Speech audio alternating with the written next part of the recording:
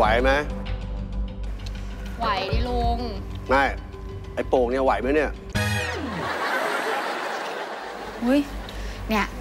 แล้วลุงก็ไปบังคับให้เขาเขียนยันอะไรก็ไม่รู้เขาไม่ไหวแล้วเนี่ยเอ๊ะงั้นดูนี่อืมอุ๊ยหาวเลยอะ เอ๊ะเป็นไงอะเป็นเพราะไอ้โป่งมันเขียนยันตอนที่มึงง่วง แล้วมันเกี่ยวอะไรกับยันล่ะลุง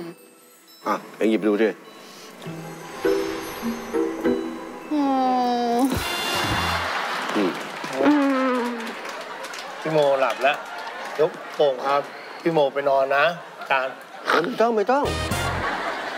ถามจริงมึงแกล้งบ้าเหรอวะมึงอยู่อยู่หลังนี้ต้องการอันนี้ป่ะ มึงจะจะมึงจะเป็นเจ้าของบ้านเลยไงพี่โมหลับแล้ว เออปล่อยเขานอนนี่แหละ พี่โม ดูมึงแบบสดใสเลยนะ เมื่อกี้มึงยังง่วงอยู่เลยนะพี่โม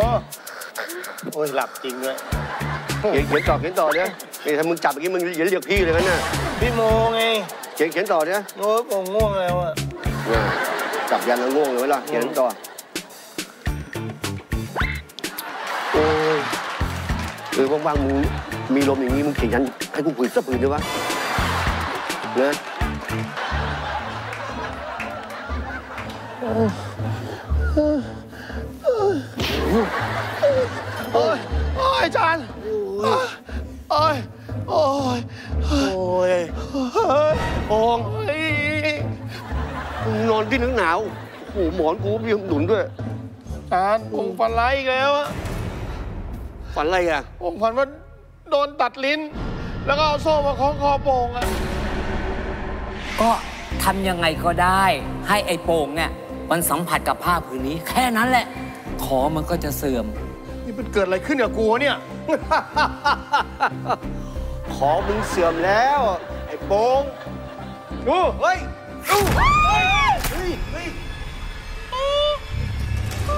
อะไรกูว่าผมว่าผมว่าปูปู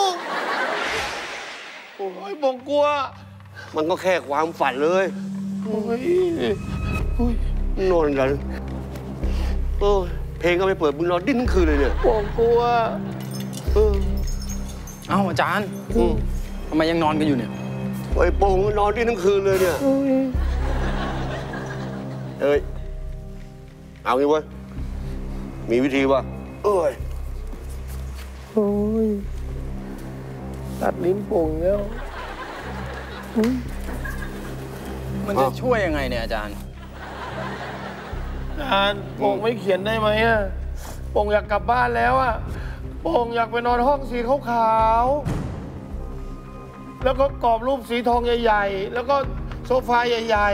ๆแล้วแล้วก็มีหิ้งพระใหญ่ๆอะเอ้ยโป่งอยากไว้ผมยาวด้วย หรือว่า หรือว่าความจำมันจะกลับมาวะ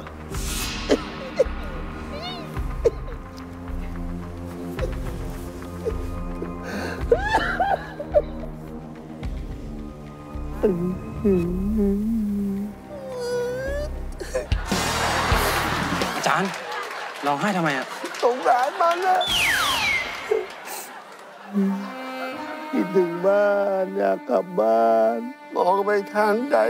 ก็มีแต่ตึกสูงสูงๆงาม ออกไปสิไปร้อง แข่งกับเขาทำไมน่ะสงสารโอ้เลอะแล้วผมอยากกลับบ้านแล้วเอาผมให้